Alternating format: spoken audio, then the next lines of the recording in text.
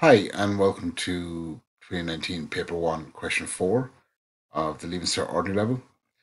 So as usual, if you want the set notes I'm working off, just send me an email at shanetroy at gmail.com. That email address should be in the description below. I suggest pausing the video and just having a go at the question on the screen to see how far you can get. And if you're back, okay, then this is part A. That's worth 10 marks. So we're looking to get something off the ground to get us at least the low partial 3.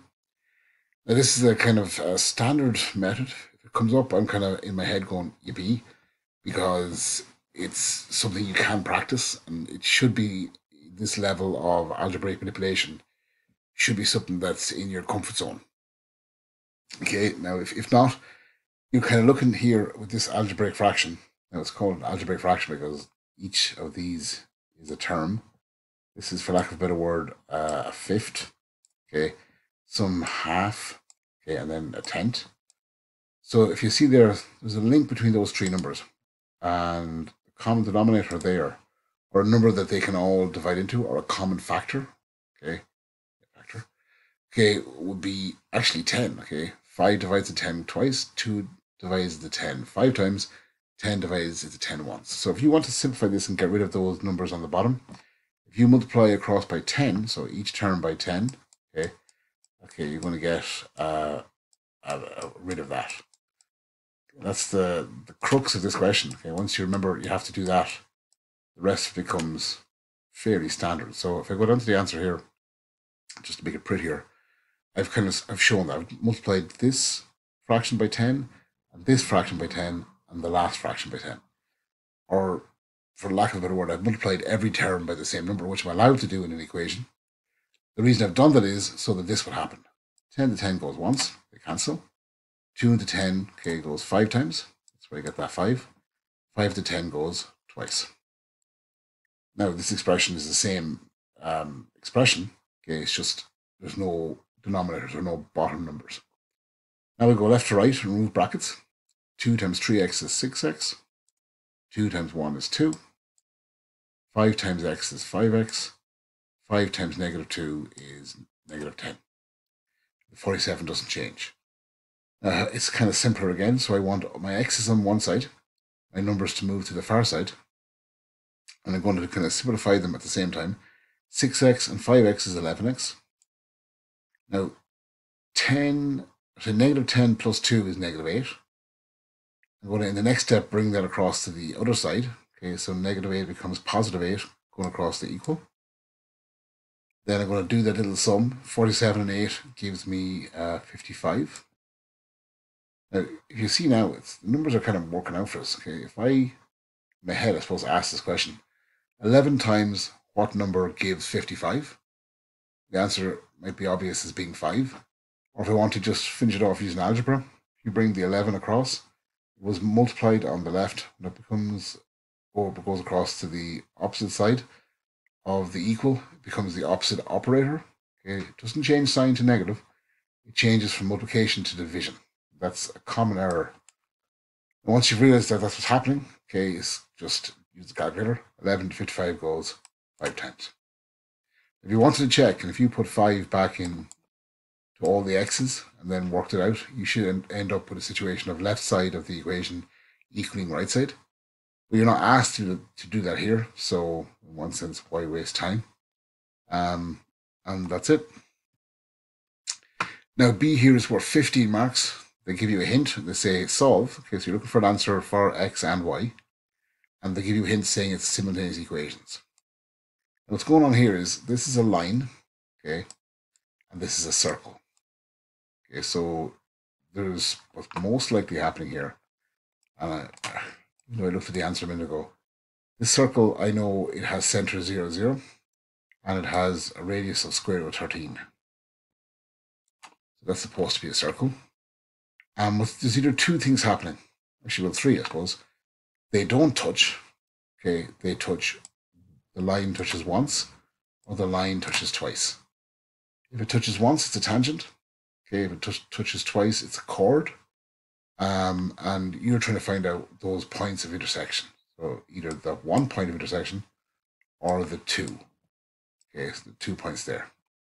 That's got messy, so let's clean it up. With this kind of method, okay, you I suppose there are two choices. There's the elimination method and the substitution method. The elimination method, to my knowledge, doesn't won't work. Okay, um, so the only method you have left here is the substitution method. So I'm looking here at um, basically taking my simpler equation and rearranging it for x or y. Now, to my opinion, rearranging for x would be easier.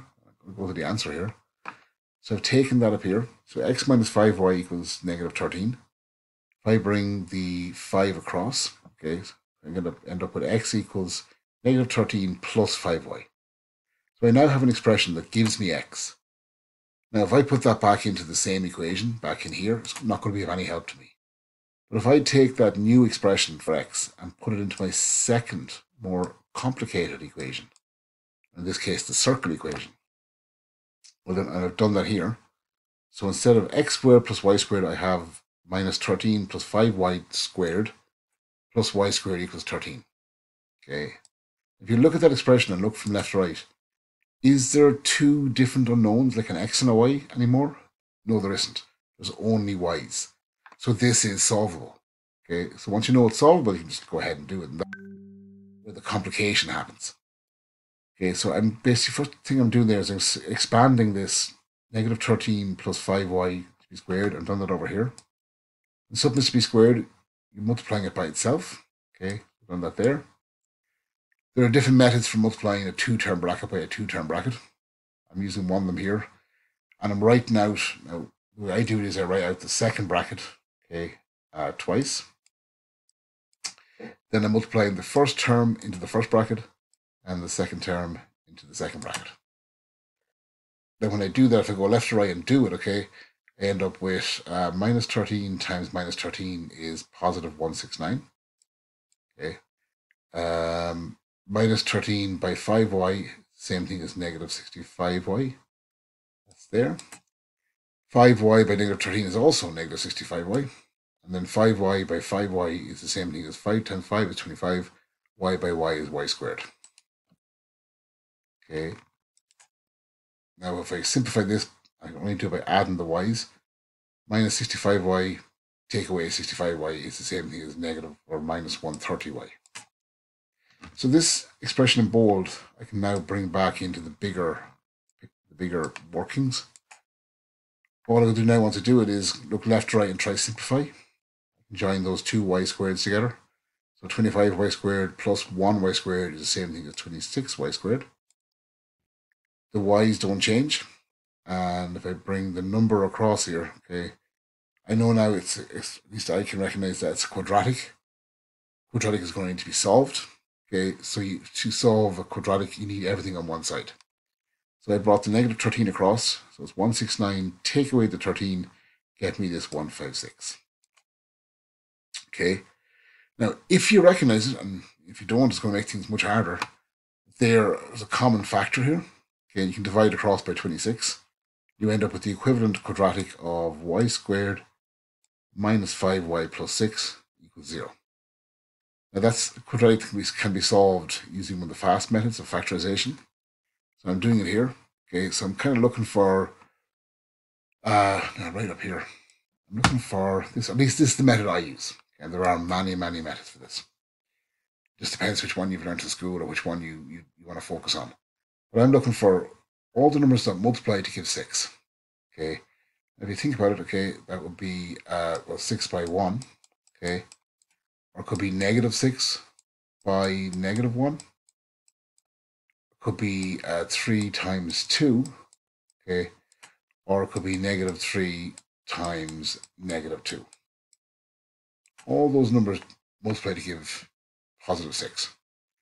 Now, which of those four numbers or sets of numbers will add to give, uh, was it negative 5?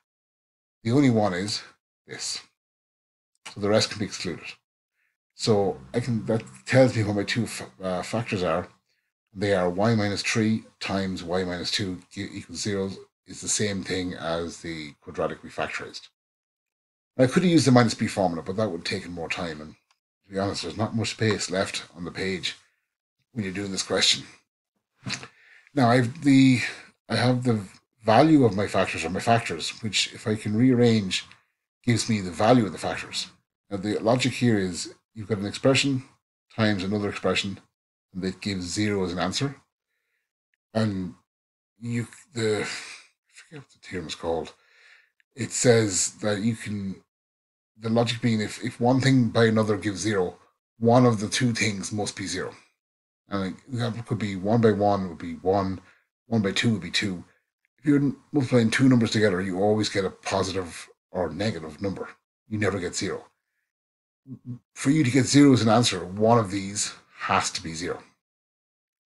Or both of them can be equal to zero. That's how you can separate them as two separate equ- uh, equations. So if y minus 3 equals 0, then y equals positive 3.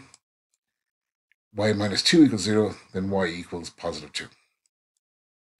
Now, this particular situation, okay, whatever it is, again, that's supposed to be an xy diagram. It is a circle. I have two y values, okay, so this crosses twice, okay. It's the worst drawn chord you've ever seen in your lifetime. So it's not a tangent, it's a chord. Now, the either one of these the original equations will give me the x value. I would argue it's only smart to take the simpler equation. And to my mind, that simpler equation is the top one. I already have it rearranged as an expression for x. So I did that here, so I can use that. So Done it here for one of the y values, the one y equals 3. Put it into that equation and calculate it out. I got 2. So the, the coordinate of one of the points of the chord or one of the points of intersection of the chord is 2, 3. If I put the other y value in uh, as well, I got the coordinate minus 3, 2. That's it. That's my two points. And I'm not asked to say if it's a chord or a tangent, but I have seen that in, in a different question or a circle question. That would be something they might ask. Okay, so I think that's the end of that. Yeah, that's question four. So thanks very much, and maybe see you on question five.